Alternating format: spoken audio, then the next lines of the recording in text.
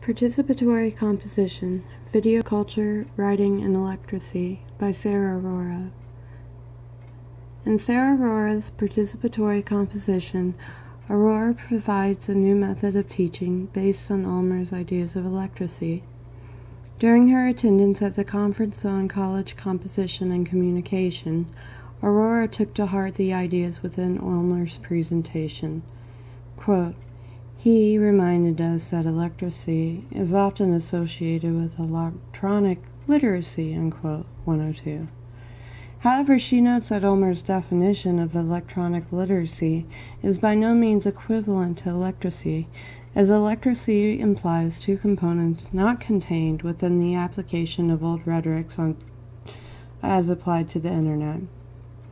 These two components are electric- electricity and trace, 102.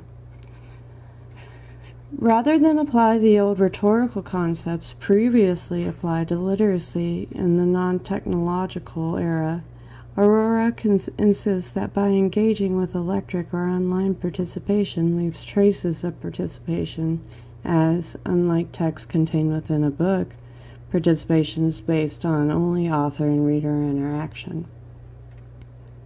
The idea of, quote, traces, unquote, that Arroyo refers to, is that more of a ripple effect regarding how one participation can travel across the internet from one site to another.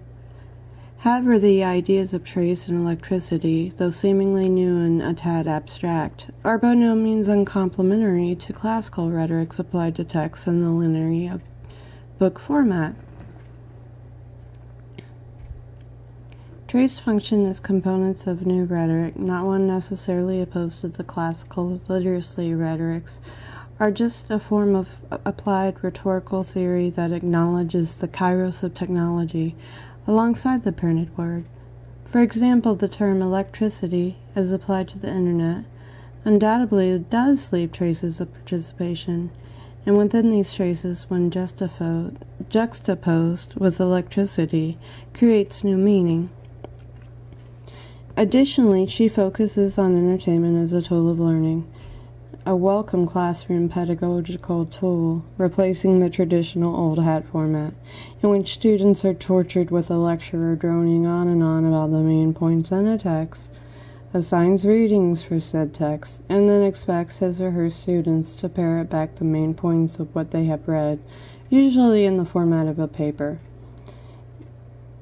Arroyo states that quote, practice, for example, is entertainment and electracy. And we only have to go as far as YouTube to see how entertainment has expanded from something people only consume in their leisure time to an entity, to an entity with which people engage on a daily basis for any number of reasons, some educational and some not. 110.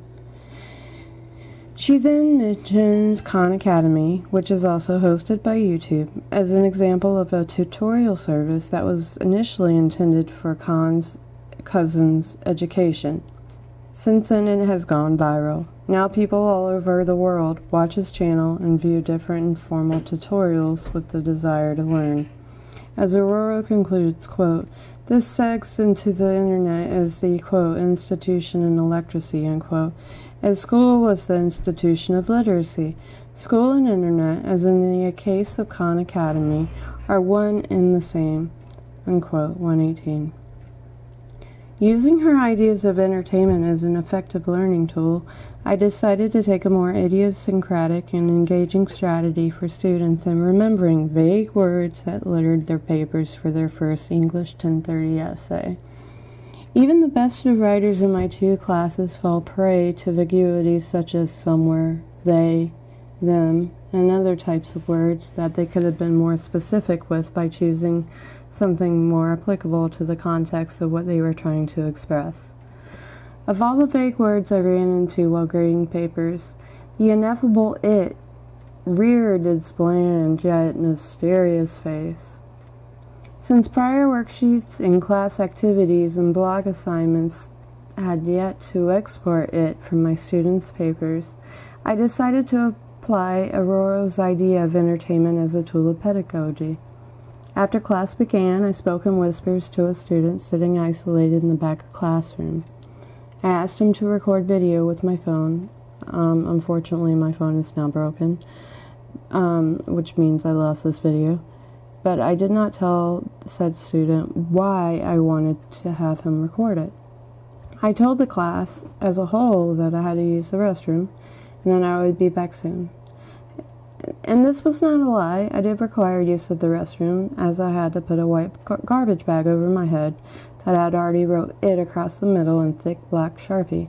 After stumbling from the restroom back to the classroom, my grand entrance was greeted with absolute silence, initially. So I began asking questions while waving my arms, and this ridiculous trash bag marked it. What is it? I asked. First response from student one It is everything. Student two It is nothing. Student three Wait, does this have something to do with that old show with Cousin It? Me. What does it do?